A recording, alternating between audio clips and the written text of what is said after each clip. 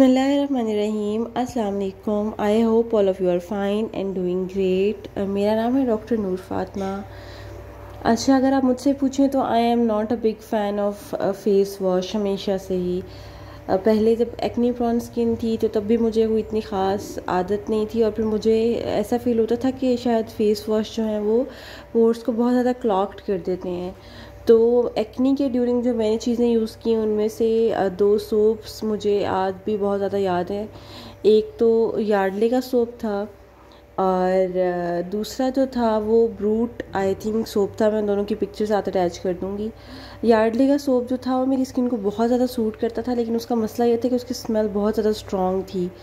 तो लेकिन ये था कि फिर उसकी ऑब्वियसली क्वालिटीज़ को देखते हुए मुझे स्मेल पे कॉम्प्रोमाइज़ करना पड़ा, लेकिन that is one of the best soap जो मेरी स्किन को सूट किया।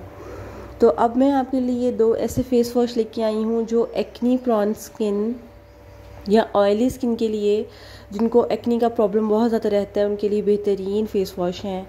तो ये एक है प्योर डिटॉक्स पॉन्ड्स का और दूसरा है एक्नी क्लेयर मिस्टीन का फेस वॉश पॉन्ड्स की मैं खैर कोई पहले भी बहुत ज़्यादा बड़ी फ़ैन नहीं थी लेकिन इस फेस वॉश ने मेरा सारा कॉन्सेप्ट पॉन्ड के बारे में चेंज कर दिया। दोनों फेस वॉश के फार्मूले जो हैं वो ऑयल कंट्रोल बेस्ड बने हुए हैं।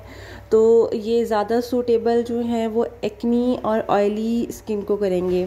ड्राई स्किन को इतना ज़्यादा सूट नहीं करेंगे। अच्छा का face wash medicated face wash है और that is the best suitable face wash for acne prone skin 85 gram इसके अंदर प्रोडक्ट है और इसकी जो प्राइस है फोर सेवेंटी रुपीज़ है ना हीट स्टोर पे।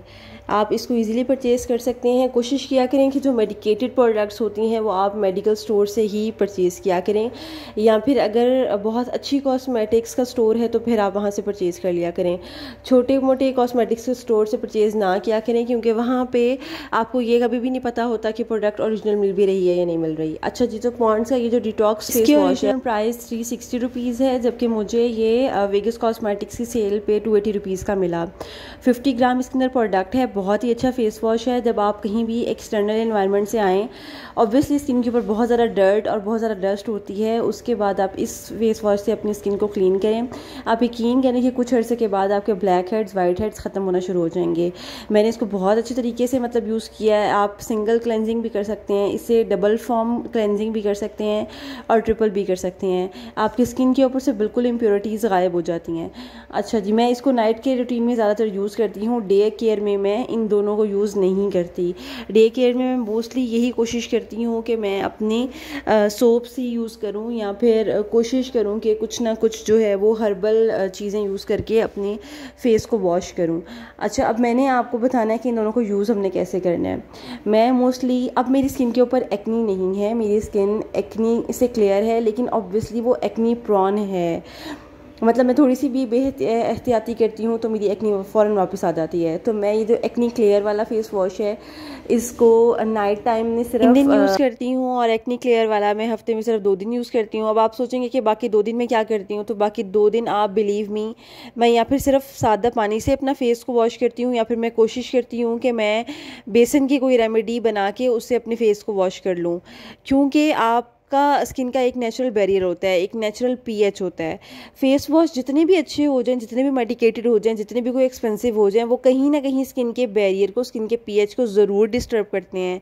तो इसलिए ये एक काम की बात जो मैं आपको बता रही हूँ मतलब ये आप बहुत फ्रेंडली मतलब आपसे मैं होकर ये बता रही हूँ। मैंने बहुत अरसे यूज़ करने के बाद, बहुत ज़्यादा ख्वारियों के बाद इस चीज़ को ऑब्ज़र्व किया है कि अपनी स्किन को कहीं ना कहीं हमें नेचुरल भी रखना चाहिए।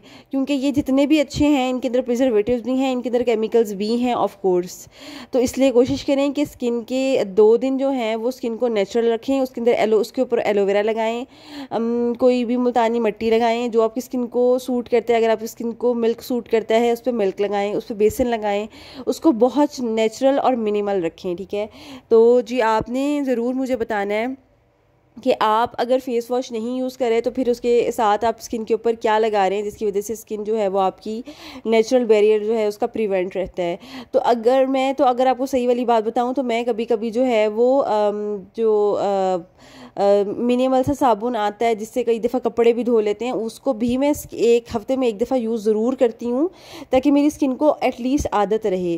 चलें जी, अपना बहुत सारा ख्याल रखिएगा, मुझे दुआ में याद रखिएगा, मिलते हैं अगली वीडियो में, अल्लाह हाफि